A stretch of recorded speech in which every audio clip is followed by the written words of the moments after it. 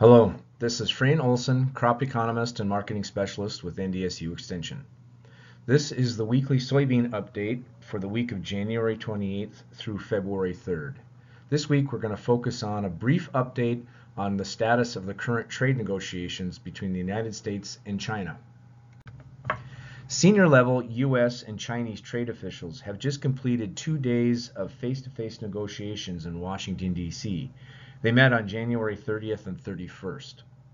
Now, the initial reports that are coming out of these negotiations were very positive. It sounds like there was some progress made.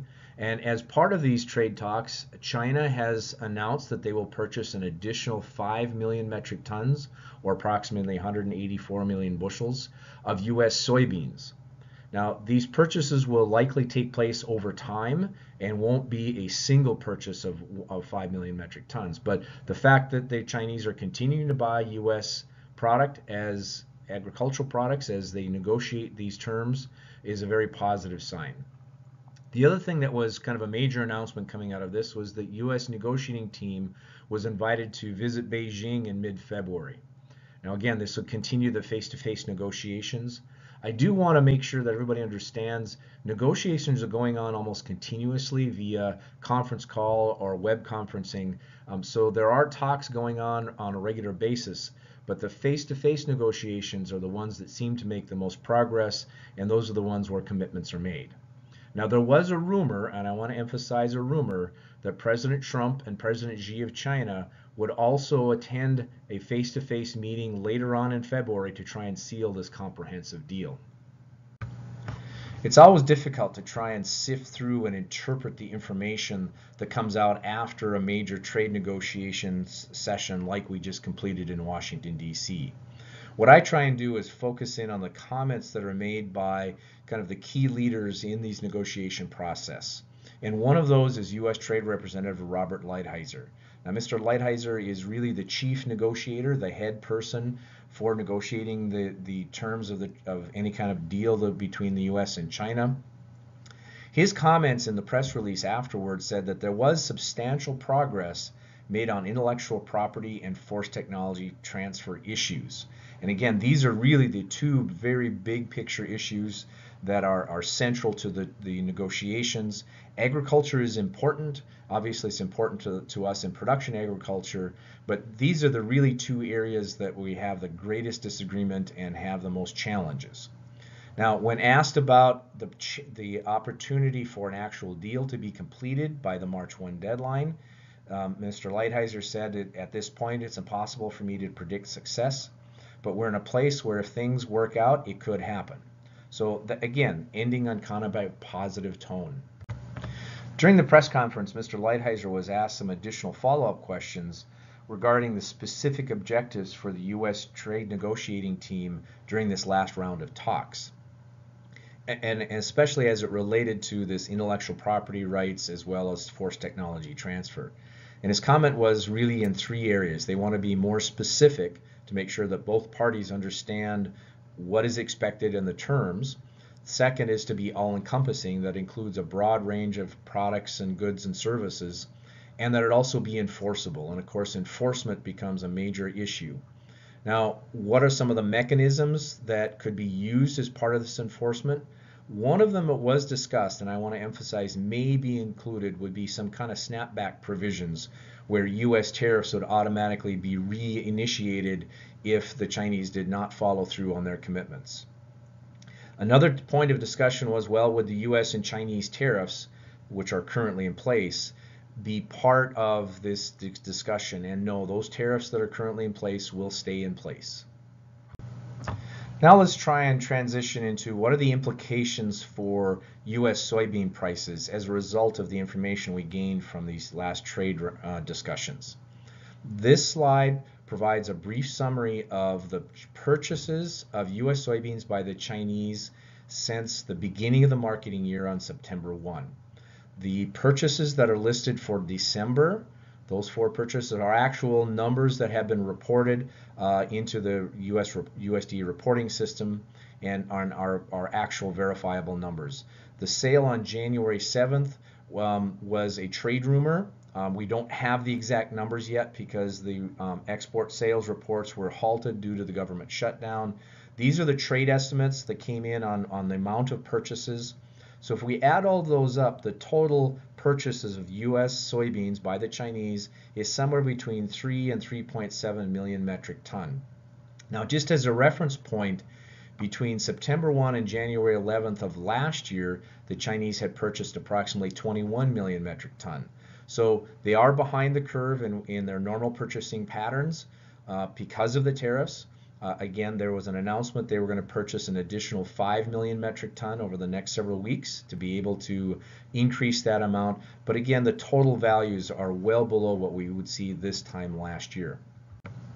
So how have world soybean prices responded to these trade negotiations? This is a graph of uh, soybean prices received at a port. So it would be the inbound soybeans, not the price of the soybeans loaded onto a vessel, but it would be the price for soybeans delivered to a port facility. The red line is the US PNW, so that's the eight, eight elevator locations in the Pacific Northwest. The uh, green line is the US Gulf, so that would be in the Gulf of Mexico. The blue line is Brazilian port Paranagua, and the black line is the Argentina river ports. And as you can see historically, if you're kind of under normal market conditions, looking back in January of 2018, those prices tend to be clustered very closely together. And then as we move through time, as we move into the summer months and then into the into the harvest, you see this big discrepancy or difference between the prices in the United States and the prices in South America. And of course, that's because of, of the tariffs and shifting uh, trade patterns. But you see also see now recently as the negotiations have become more more fluid between the United States and China, that the world prices for soybeans have started to narrow up and being being again very clustered together. So based on today's prices, the U.S. soybean prices as well as those prices for South American soybeans at the export terminals are very, very similar. We've also seen some adjustments in the basis levels for soybeans at different points within the United States. This figure shows the basis levels at specific elevators in, that I use to kind of represent a region or a state. The red line is North Dakota, the brown line is South Dakota, the black line is Minnesota, the blue line is Iowa, the purple line is Nebraska, the green line is Illinois, and that um, dark blue line on the very top is the Louisiana Gulf. So again, you can see that we that these basis patterns tend to go up and down together. In the North Dakota region, we had this very deep drop in basis or very negative basis as we moved into the harvest months. We've seen some recovery now as the, the trade flows have begun to open up in the Pacific Northwest, and as the local elevators are able to work through this backlog of soybeans that were delivered at harvest. So the, the elevators that I have talked to are starting now to get cleaned out of the soybeans. They have some additional room and some additional capacity to handle more soybeans when necessary. So you start to see that basis level start to improve. So one of the common questions that I get from farmers is what will happen if China does come in and start buying large quantities of US soybeans? Do we have the capacity to be able to handle that? And what's going to happen to local basis levels? Well, there's obviously a lot of pieces to that. One is how quickly and what quantities do the Chinese come in and purchase? If they do, is it going to be in large chunks or is it going to be smaller amounts over time? The second is what's the capacity at the local elevator level to be able to handle more soybeans? What's the capacity of the rail system to be able to handle that? And then finally, what's the capacity constraints out in the Pacific Northwest on the export terminals? Well, to answer that last question, the USDA uh, Grain Transportation Report provides a weekly updates on the movement of grain in the United States, not only by rail but also by barge and they track the volumes of grain shipped to different port locations. This is one of the figures that's reported every week. I want you to focus in on that dotted green line on the very top. That represents the rail deliveries of grain to the Pacific Northwest elevators. And again, it's it's weekly information, so we go back into 2016. As you can see, there's quite a bit of variability, and there is some seasonal patterns that we start to pick up. I want you to really focus in on the information on the far right hand side. If you notice the grain shipments, again this is by rail to the PNW ports, we have been relatively high, not only through last winter, but then also through the summer months. But now as we get into the, the winter months, it started to, to drop off. Twofold reason for that. Obviously, we don't have the soybean shipments out to the PNW that we normally see at this time of year, but also the, the corn shipments from the northern plains into the PNW ports have also been slowing. Now, as I talk to local elevators, what they're saying is that the rail transportation system has been very fluid.